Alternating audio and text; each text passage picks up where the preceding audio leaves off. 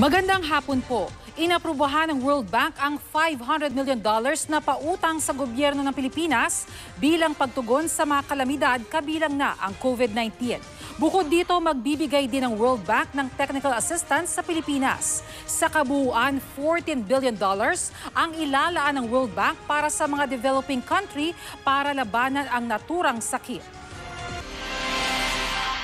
Kumpirmadong may COVID-19 ang pumanaw na sanggol na lalaki na mag-iisang buwan pa lamang sa Lipas City, Batangas. Nakuha lamang resultang positibo sa COVID-19 ang sanggol matapos nitong mamatay. Nagsasagawa na ng contact tracing ang City Health Office. Ang nasabing sanggol ang pinakabatang pasyenteng nasawi sa COVID-19 sa Batangas. Nagdadalamhati ngayon ang pamilya ng Batikang TV and radio host na si Laila Benitez. Namatay siya dahil sa COVID-19 sa New York sa edad na 80 siya. Naulila ni Laila ang kanyang dalawang anak na sina Jerry at Martin. Si Benitez ay naging host ng student canteen noong dekada 50. Tinagurian siyang First Lady of Philippine Television. Nang ideklara ang martial law, pumunta siya ng Amerika at naging host ng Voice of America. Ang New York ang sentro ngayon ng COVID-19 sa Amerika. Sa nakalipas lang na 24 oras, halos 800 ang namatay doon sa naturang sakit. Isa pang doktor ang namatay dahil sa COVID-19.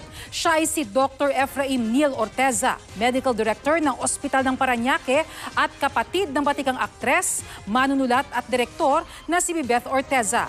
Kinumpirma ng anak ni Dr. Orteza na si Patty ang kanyang pagkamatay dahil sa COVID-19. Nagkaroon ng memorial service para sa kanya kaninang umaga.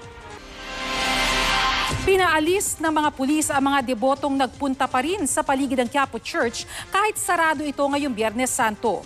Lumipat sila sa kalapit na kalsada o malapit sa mga saradong establishmento.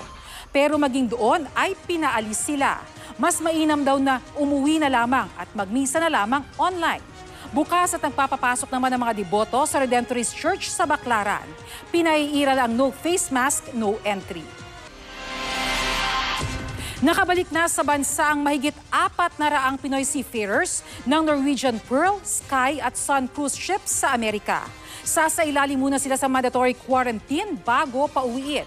Simula noong Pebrero, nakapagpauwi na ng mahigit 10,000 OFW ang DFA.